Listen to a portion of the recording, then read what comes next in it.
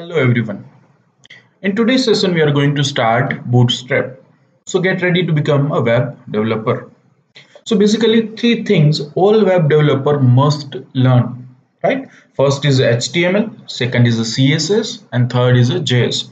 All three have different aspects to web developing. First HTML when you define your content, CSS where you specify the layouts and the stylings of the website and JS to define the behavior or how that website will be interacted with the user we can specify using JS. So these three things must be learned by all the developers.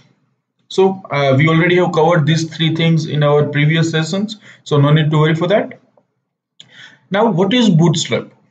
Bootstrap is a free front-end framework made of HTML, CSS and JavaScript for developing a responsive website. So the obvious question for us is what is responsive website and why we need Bootstrap? Obvious question is that because using HTML, CSS, JavaScript we can develop website then why we need a Bootstrap? Right? So what is responsive website? We need to understand first. A responsive website actually automatically adjust themselves to look good on all the devices. Like if you have a big screen, a computer, or a tablet or a mobile phone your website should be adjusted uh, according to the width of your screen. So let's see an example how it will how uh, what is uh, responsive and what is non-responsive websites. For example this is our Darshan college website. So it is uh, looking good in my laptop but what happens if I open my website with the mobile right? That is the difference here is a responsive website and we have one uh, example for the non-responsive website. There is a, a website which is non uh, non-responsive. It uh, looks good in uh, my computer for sure but but if i open right right click on here and inspect it and i click here it is a uh, desktop based and if i click here it will be open in a responsive or you can select a mobile how it will be looked in a Pixel 2 phone or Galaxy S5. As you can see, if you open that particular website in a responsive way and if you change the screen size, it will be displayed something like this. You can see the sidebar is gone. You cannot no longer see the sidebar. You need to scroll uh, horizontally, right? The biggest problem when you open a uh, website in a mobile this is horizontal scrolling. This should not happen in any website. Vertical scrolling is okay.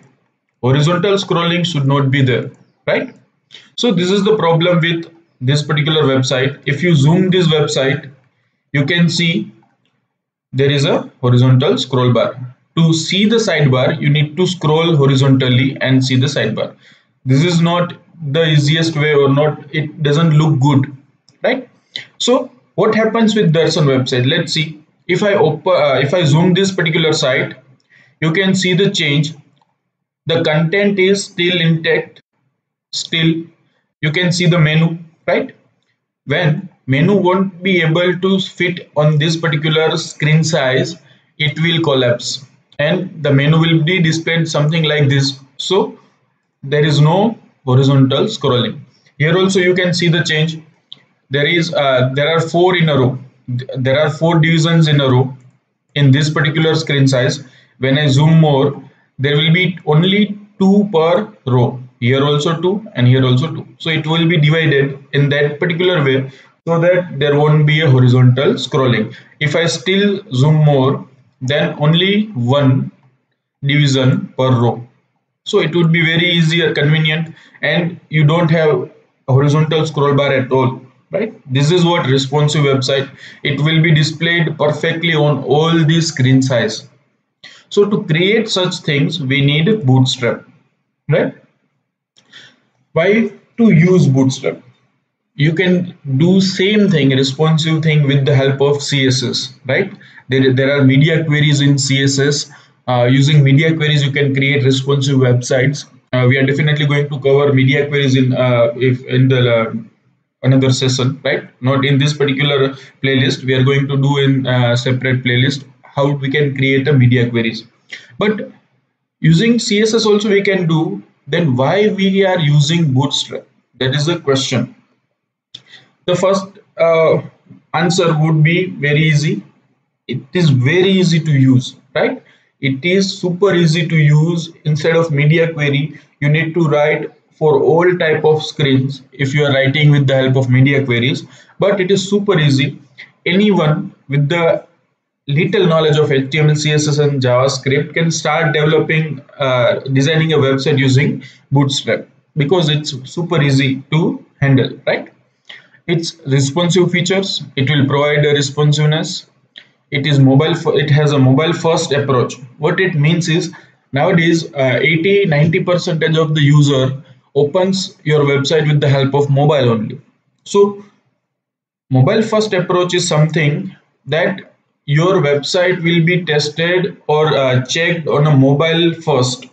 Your website should be look uh, should look good on a mobile better than even laptop or a computer right? Because 80 90 percentage of your users will be from the mobile. So uh, bootstrap has this feature. It is mobile first approach. Browser uh, compatibility. As you know css having many problems with the compatibility but bootstrap uh, resolves those problems and provides us a compatible with all modern browsers.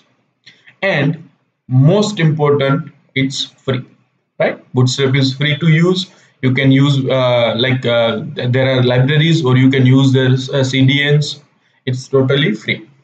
So in the next session we are going to getting started with the bootstrap. Thank you